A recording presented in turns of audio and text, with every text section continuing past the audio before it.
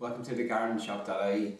In this uh, video I want to show you one of our range of pest control products that we have available on the website and it is the fly catcher. So here it is here, it, is a, it comes in a cardboard packaging. So we'll just have a look at the packaging here firstly. So it's a fly catcher, the brand is Nulof and it is uh, comes in a unit 10 packs per uh, package. So you're getting 10 uh, traps per pack. Um, so we'll just turn it over and see what, what it, has on the back. So on the back then it just gives you explanation on how to use the product which we'll take you through now in a moment and then uh, just other information on the product itself. So just opening it up then I'm going to show you what you get. So as I said these are fly uh, catchers and they're used to control a range of flying uh, uh insects and insects in general. So when you undo the packaging then you can see that you get these uh, triangular shaped um, yellow uh, bands. Okay, so they're covered in this uh, white sheeting because these are in fact uh, sticky boards uh, and they're yellow because the yellow colour attracts the insect to them. So there's 10 of them. They have a pointy end so that you can place them down into the uh, soil that you or, or into the plant pots that may have infest, infestation of insects. Uh, alternatively, uh, instead of sticking them down into the plants, you can instead hang them from a height.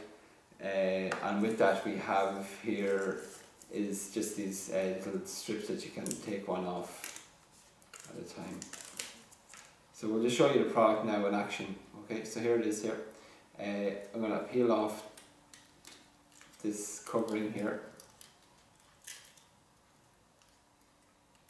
quite sticky, so I just don't want to get my hands touching it.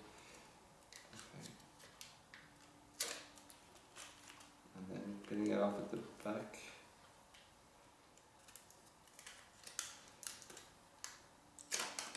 There it is. So um, that's it there. Uh, you can, as I said, do two things here. You can place it down into your plant pot, shoving it down into it, or alternatively, in cases of indoors and greenhouses, you can just put a piece of uh, this string here, just tie through, and then you can simply just uh, tie it up high where your insects could be living. And the idea then is because it has this yellow surface, it attracts the insects, but also because it's very, very sticky, as you can see, it, uh, the insects will obviously sit on this and will not be able to get off it. So you have effectively a, a organic, pesticide-free uh, control, a trap really, for your uh, pests. Uh, so what would it use it for? So it has a range of uses. It controls a number of insects including uh, whitefly, blackfly, greenfly, aphids, winged aphids, um, leaf miners and uh, other flying insects.